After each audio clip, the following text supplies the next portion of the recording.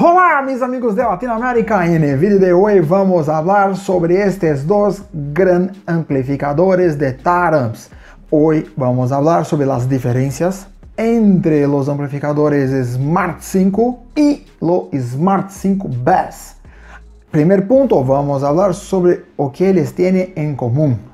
Ellos son amplificadores que tienen la tecnología Power Control System, que hace lo manejo, lo control de salida del amplificador para que en su rango de impedancia tenga la potencia determinada, que en estos casos son de 5000 vatios. Una diferencia, en lo amplificador Smart 5, lo rango de impedancia va desde 1 ohmio hasta 2 ohmios. Y en lo amplificador Smart 5 Bass, este rango de impedancia va de 0,5 ohmios hasta 2 ohmios. ¿Ok? Otro punto importante que ellos tienen en común son en su alimentación. En su alimentación es sugerido dos cables de 2 barra 0 Gauge o 70 milímetros por polo. Así tenemos cuatro cables de 2 barra 0 para su alimentación. También es sugerido en mínimo, en mínimo 250 amperios hora en baterías. Otro punto en común de ellos está en su entrada de audio. Los dos amplificadores tienen una entrada de audio que va de 0,2 voltios hasta 4 voltios RMS y que tiene una entrada RCA y una salida auxiliar RCA que puede ser usada para se tener más de un amplificador en un sistema. ¿Ok? Otro punto que ellos tienen en común, los dos amplificadores tienen su Smart LED, que indica directamente la potencia que se tiene en la salida.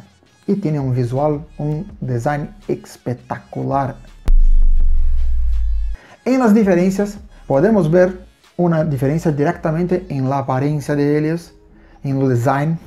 Lo chasis es un poco diferente. Otro punto muy importante, este es un punto muy importante de diferencia entre ellos.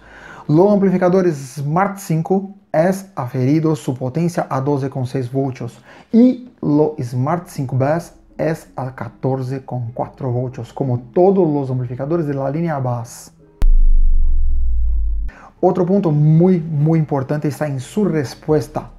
El amplificador Smart 5 tiene una respuesta que va de 10 Hz hasta 8K, 8000 Hz. Ya el amplificador Smart 5 Bass tiene una respuesta que va de 8 Hz hasta 200 Hz. Así, este es hecho directamente para uso en bajos. Ya el amplificador Smart 5 puede ser usado en bajos, medios bajos, medios altos, sin problemas. ¿Ok? En sus usos se puede utilizar directamente desde su sonido interno para bajos muy fuertes, también para su sonido open show. Sí, yo puedo utilizar en su open show. Así podemos usar un Smart 5 Bass para los bajos y un Smart 5 para los medios bajos, sin problemas. ¿Ok? Bien amigos, ¿le gustaron las informaciones? ¿Le gustaron los productos? Como vimos, estos son amplificadores inteligentes que tienen los sistemas Power Control System de Taramps, que tiene un hecho especialmente para sus bajos y un para su uso general. Assim, qualquer dúvida, qualquer sugerência, escrever aqui abaixo e não olvides de se en neste canal e ativar as notificações. E se gostou do vídeo, deja tu like.